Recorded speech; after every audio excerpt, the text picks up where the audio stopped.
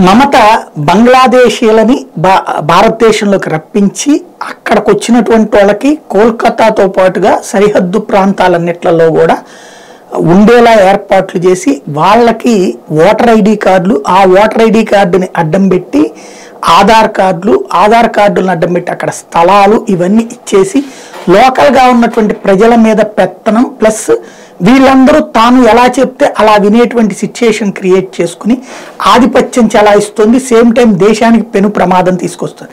ఇది ఎన్నిసార్లు చెప్పినా ఎంతమంది చెప్పినా దాన్ని కాదని తోసిపుచ్చుతూ వచ్చినటువంటిది. ఇప్పుడు తాజాగా కోల్కతా హైకోర్టు తేల్చింది. ఒక బంగ్లాదేశీ మనిషికి ఇది వచ్చింది మన దగ్గర ఇట్లాంటి అవకాశం వచ్చింది అన్నటువంటి కాన్సెప్ట్ ప్రధానమైనటువంటి చర్చకి తావిచ్చినటువంటి అంశం దానికి సంబంధించినటువంటి వ్యవహారం వెలుగులోకి వచ్చినటువంటి సిచ్యుయేషన్ ఎక్కడ అంటే రెండు వేల ఇరవై ఒకటి బెంగాల్ అసెంబ్లీ ఎన్నికల్లో అలోరాణి సర్కార్ ఈమె తృణమూల్ కాంగ్రెస్ తరపున పోటీ చేసింది.